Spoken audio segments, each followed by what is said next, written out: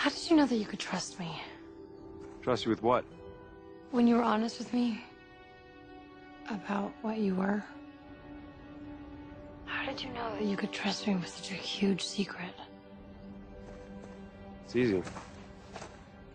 I was in love with you. I wanted you to know everything.